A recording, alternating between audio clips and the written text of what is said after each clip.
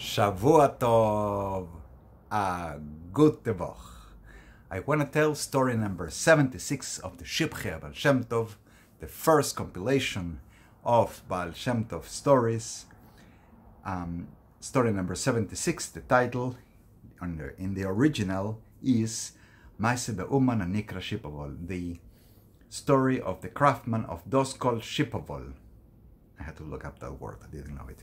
A Shipovol is a felt craftsman, those who work uh, on wool, not making thread out of it by mashing wood into this kind of pasty thing and goes flat, and that's the, the cloth, um, the felt cloth. So this is a story about a man, a Jewish man who did such work. The author of the Shivchei Baal Shem Tov says, Gam Shamati, I also heard from um, Rab Meir of Anipoli, uh, mentioned in the story before, the source of the previous story, that there was in the same city as the previous story a um, craftsman of those called Shipovol, those who work clothes of clothing of um, felt, and he uh, used to pray in the synagogue, whether in um, in the summer or in the winter, whether it was hot or cold, and under all circumstances, he would always go regularly to the synagogue. And even if there were not 10 men, if there was not enough for a minyan, he would go and pray there, uh, in uh, individual prayer. Once, the Baal came to that city and he saw through the window that as he was uh, smoking his uh, lulke, his pipe, prior to the morning prayers, he saw that the that the man was passing by, and he was very moved. Emotion caught, you know, the Baal Shem Tov in a big way. So the Baal Shem Tov said to the balabos, to the owner of the house where he was uh, lodging, go and see who is that man that is carrying the talis and tefillin in his hand on his way to shul. So the um, the balabos, the owner of the house, went to see and said, "Oh, that's a uh, craftsman on his way to shul." So the Baal said, "Call him, tell him to come to me." But the balabos, the owner of the house, said, uh, "He's uh, he's a little difficult and uh, he's not going to listen. He's not going to come." And the Baal Shem Tov didn't say a word. After the morning prayers, the Baal Shem Tov sent for the man to be to come to him and asked that he should bring four pairs of posmaki. Yeah, posmaki in the, the local dialect of Polish, I guess, means um, socks. So the craftsman came and brought this posmaki, this uh, felt socks. And the Baal Shem Tov said, how much for each pair of posmaki? So the man says, a, um, a yellow coin and a half, a zloty and a half. And what about if you give it to me for just one, one piece, one zloty?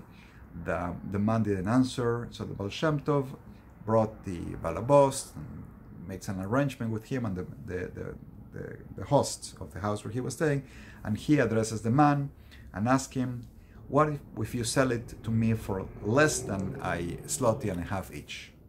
So the man says, if I wanted to sell it to you for less, I would have told you that from the beginning. I didn't come here to negotiate prices. You asked me, this is the price. So the Baal Tov pay him the agreed price for the four pairs, and then ask him how you how do you do this? And the man says uh, I, I do my craft. Okay how do you conduct your business? Well i make um, like no less than 40 or 50 pairs at a time.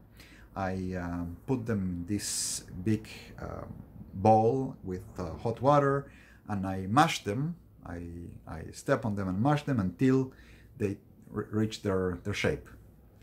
How do you sell them well, I don't leave the house. The merchants come to my house and they buy from me and they also bring me the wool and I pay them for it with the proceedings of my job, of my work. And only for your great honor, I have made the exception to come here because I do not leave my house except to go to synagogue and I pray there always, whether there is a minyan, and I, I do uh, tefillah b'tzibur, I, I pray with the community, or if there is no minyan, I do biyachit, I do individual prayer. Always in my place, in the synagogue. I go, sit down and pray.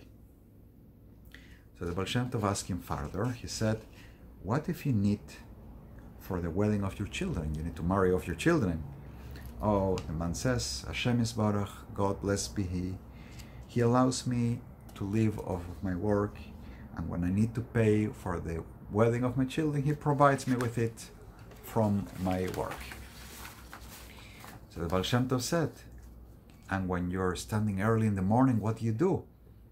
Oh, I uh, begin to make the posmaki, I begin to make the, the, the socks.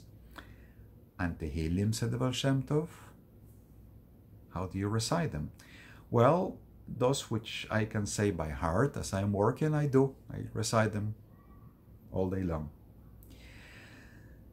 The Baal Shem Tov said of him that he is the Yesod, the foundation of the shul, of the synagogue, until Bias Agoel, until the coming of the Redemptor, of Mashiach. May that be soon in our days. Amen. Selah. These last sentences are added, not from the from the story that the man heard, that the Dover heard, but he adds his apparently his his uh, part here and says that from here we can learn the size of the virtue of he who earns a livelihood in a kosher manner, in a proper, honest way. A pashut a simple Jew, going regularly to the synagogue and doing his honest job and having faith. And that's the story. I am translating the stories of the Baal Shem Tov. I'm telling them here every week in YouTube. Please share, like, and watch the stories. Um, I tell them every week in English and in Spanish, and I am in the process of translating each of the stories into Spanish, Hebrew Spanish, um, with the hopes to edit and publish the whole book. It's a painstaking work that is taking longer than I expected. Please contribute. Link in the description. Shavua Tov, a good